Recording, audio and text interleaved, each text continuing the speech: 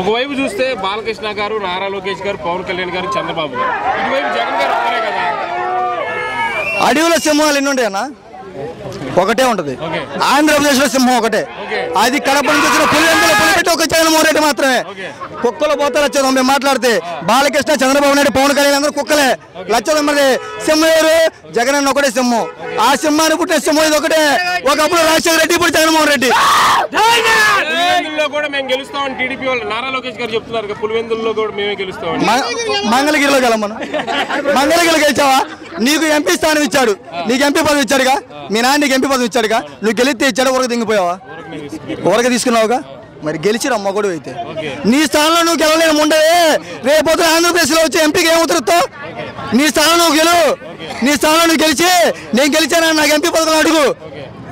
ఇప్పుడు రానున్న ఎన్నికల్లో జనసేన యొక్క ప్రభావం ఏ విధంగా ఉండబోతుంది? ఏముండదు అన్న ఏముండదు. ఏముండదు. వాడేదో మొన్న మొన్న- అన్నారు పిల్ల కుర్ర అయితే కుర్రలు ఒక మాట అన్నారు. ఆంధ్రప్రదేశ్లో ఆంధ్రలో పోటీ చేయడం కాదు జగన్ తెలంగాణ పోటీ అన్నాడు. ఎనభై తెలంగాణలో కూర్చోడానికో తెలంగాణ కూడా మాదే తెలంగాణ మాదే రేవంత్ రెడ్డి కాంగ్రెస్ నరేంద్ర మోడీ సోనియా గాంధీ. ఢిల్లీ టీ కొట్టిన మొగడు ఎవడంటే జగన్మోహన్ రెడ్డి. రెండు వేల ఇరవై నాలుగులో మేము అధికారంలో వచ్చిన వెంటనే వైఎస్ఆర్సీపీ పార్టీ అనేది కనపడకుండా చేస్తాను. ఆ బాధ్యత నాదని నారా లోకేష్ గారు బహిరంగంగా చెప్పారు కదా. చంద్ర ఒకప్పుడు సోనియా గాంధీ గారు ఏమన్నారు? నీ ఎంత అయిపోయింది. నిన్ను జైలు వేసాను నువ్వు బయటికి రాలేవన్నాడు ఇప్పుడు అదే ఆంధ్ర గడ్డ మీద సృష్టిస్తున్నాడు శేషాన్ని. సృష్టిస్తున్నాడు. రేపొద్దున ఆంధ్రలో ఇప్పుడు కాంగ్రెస్ ఉందా? ఆంధ్రప్రదేశ్ కాంగ్రెస్ ఉంది ఇప్పుడు? ఏం పార్టీ ఉంది? వైఎస్ఆర్ కాంగ్రెస్ ఉంది. రేపొద్దున టీడీపీ కూడా ఉండదు. ఓన్లీ కాంగ్రెసే. ఓన్లీ వైఎస్ఆర్ కాంగ్రెసే. ఏ పార్టీలు ఉండవు. ఏ పార్టీలో రెడ్ బుక్లో రాసుకున్నాను మీ సంగతి ఏంటో తెలుస్తా. బట్టలు తీసి కొడతా అంటున్నాడు కదా. అసలు వాడికి తెలుగు వచ్చానా అసలు వాడికి తెలుగు వచ్చా? ఏందని అడిగేది వాడికి తెలుగు రాదు. వాడు పోయి గోవాలో చెన్నైలో పోయి అమ్మాయిలతో తిరుగుతూ ఉంటాడు. ఇక్కడ ఆంధ్ర వాళ్ళు మాట గుడిచిపోవాలి ఏముంది వాడి పని? వాడి పని ఏముంటుందన్నా వాడికి ఏం తెలియదు వాడు వాడు పప్పు అన్న? వాడు పప్పు. వాడు పప్పు.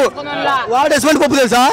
అసలు వాడికి ఏం తెలియదు వాళ్ళ నాన్న వాళ్ళ నాన్న అంటే అంటే అంటాడు ఇంకంతే. యువకాలంతో మెచ్యూరిటీ వచ్చింది బాగా జనాల అన్నా.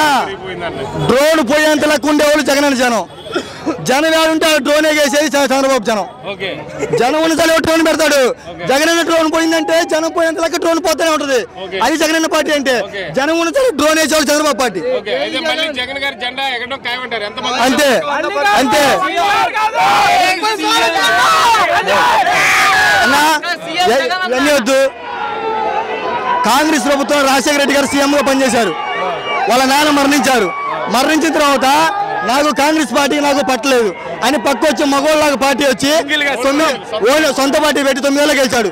మీ మావ నువ్వు చంపారు పుకారు ఉంది. అది నిజమో పుకారు దేవుడు తెలుసు. నువ్వు మొగోడేది బయటికి ఒకడు మొగోళ్ళు ఒకడు బయటకు వచ్చి చంద్రబాబు నీకే సవాల్ కాస్తున్నా నువ్వు మొగోడు అయితే ఒకడే నువ్వు మొగోడు అయితే ఒకడే వచ్చి టీడీపీ పట్టి కొత్తగా పెట్టి నువ్వు గెలు. ఇగో నాకు ఇప్పుడు ఇరవై ఎనిమిదేళ్ళు నేను నువ్వు బతుకున్నంత కాలం గుడి సగం గుండు కూడా తిరుగుతా. నువ్వు కొత్తగా పార్టీ పెట్టు.